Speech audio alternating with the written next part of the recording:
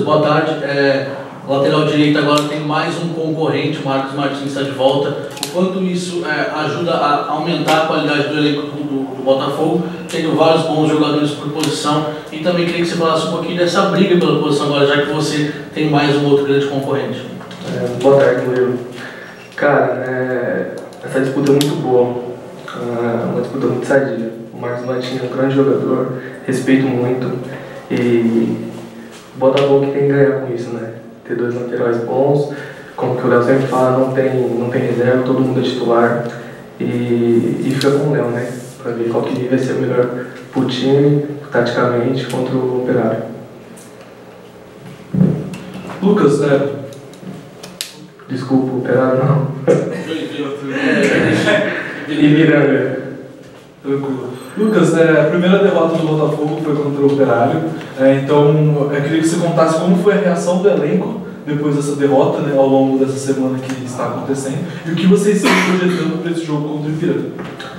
Cara, ficamos claro, muito tristes, muito chateados pela forma que nós perdemos, né? Nós estávamos vendo uma sequência muito boa e de forma que, que foi o jogo lá, ficamos muito, muito chateados mesmo pelas pelas coisas que aconteceram de campo, por erros nossos. E eu creio que o Léo vai, essa semana, corrigir tudo que, que deu de errado lá para não errar mais. Oi, eu, desculpa, Lucas, eu tô igual você, tá vendo? É a greve, ó. É a greve, o Yuri não tá funcionando. É que eu ia citar o Yuri. Você falou dos erros né, é, que todos cometeram. O Yuri ontem também veio aqui e disse que todo mundo ficou um pouquinho abaixo da média né, do que normalmente apresenta em campo. É, e você disse que vocês vão trabalhar essa semana. Com certeza vocês já tiveram uma oportunidade de, de, de conversar entre vocês e vocês entendem que foi um momento interessante para ter um, um, um, tropeço, pensando ainda que tem duas rodadas para terminar o primeiro turno e ainda tem um retorno todo pela frente. E se você conseguiu, né, se o grupo conseguiu enxergar alguma, algum erro ou alguma coisa que precisa ser corrigida que ficou evidenciada, tipo, não que aconteceu pontualmente, mas que de repente vocês vinham observando, tipo, ah, não, isso aqui ó, a gente tem que ficar mais atento e ficou evidente nessa partida? Sim, com certeza. Mas depois do jogo mesmo, assim, no hotel, a gente conversando um com o outro e lógico que a derrota não é bem-vinda, né? Mas nesse ponto serviu de lição pra gente, porque sabe que o campeonato é muito difícil. E a gente conversando, gente falou, melhor perder agora do que perder lá na frente. Então nós temos muito para evoluir ainda, erros vai acontecer, normal, e a gente conversando entre a gente para errar o melhor possível, sabe? Para não ter esse erro de novo. Lucas, eh, projetando o próximo jogo contra o Ipiranga em Erechim, eh, a situação é desfavorável para o visitante, porque é um, é um, é um campo do adversário, é a torcida do adversário, é a condição climatológica, a viagem que vocês vão fazer eh, da forma como foi possível ser planejada é extremamente desgastante.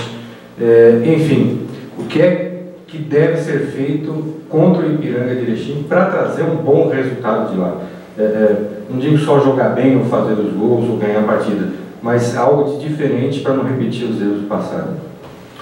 É, então, o Léo ainda não conversou com a gente sobre, sobre o Ipiranga ainda, o adversário. Eu creio que hoje, a partir de hoje, vão começar a treinar praticamente para o time. É, não entrar igual a gente entrou no primeiro tempo lá contra o Operário. Esse é o principal. Que até a gente fazer o gol, a gente estava bem depois deu uma relaxada, aí eu já consigo jogar mais.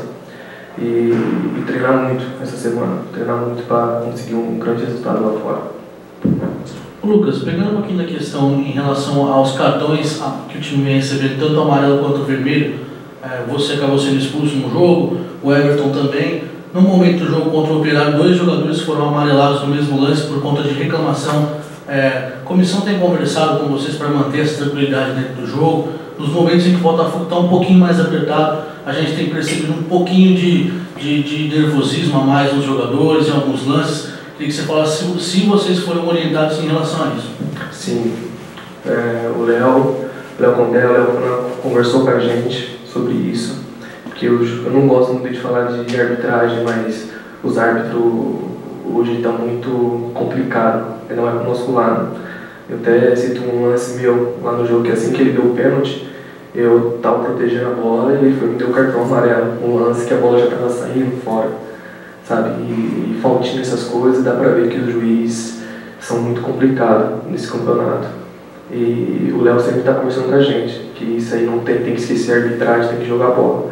Mas infelizmente tem lance que nós acaba ficando nervoso, porque não dá uma falta na, na gente, no adversário dá, essas coisinhas boas. Mas o Léo está sempre conversando com a gente para deixar o árbitro de lado. Lucas, é, o jogo do Ipiranga vai faltar apenas dois para o final do primeiro turno. Está é, tá dentro da projeção esses pontos que vocês têm até o momento? Vocês esperam conseguir dois, é, duas vitórias nesses dois jogos? Como que está essa visão que o elenco está vendo desse primeiro turno como um todo? É, sempre no começo, o Léo sempre passou para a gente que o importante é somar pontos, como dentro de casa e fora de casa. Sempre está somando. E nos últimos jogos é muito importante para a gente. E como o campeonato está muito equilibrado, se a gente perder, a gente vai lá embaixo, se a gente ganhar, a gente fica líder. E é sempre importante estar somando. E creio que, se Deus quiser, a gente vai fazer uns bons jogos e vitórias esses dois últimos jogos. Olhando a tabela agora, é, o Botafogo está é, no G4 com uma diferença muito pequena, de dois pontos para o sétimo colocado. Então, dependendo do resultado da rodada, pode estar manter, né, se manter, ou pode despencar. Essa, essa relação apertada dos números da tabela é, com a necessidade de enfrentar um adversário fora de casa.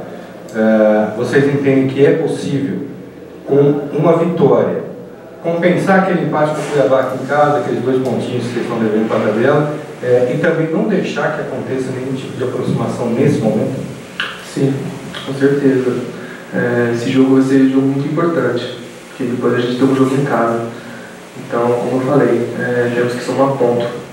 Esse jogo contra o Ipiranga, se Deus quiser, a gente vai treinar muito essa semana para conseguir os três pontos ou arrancar um ponto de lá. E que vai saber ver esse ponto o Cuiabá, como você falou, desde cara.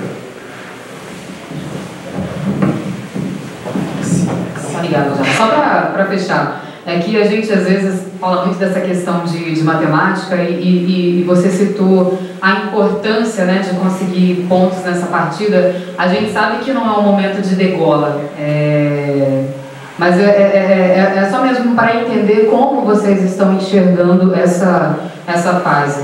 Não é um momento de degola, de desespero, porque o time é, é, vem, vem até bem, numa, numa regularidade, e teve esse tropecinho aí, essa, essa derrota. A gente não está falando de reabilitação, mas sim de buscar um, um resultado positivo. Como que o time está encarando esse momento? É, mas aí eu não falo em relação à, derrota nem nada, apenas como enxergar esse horizonte de campeonato.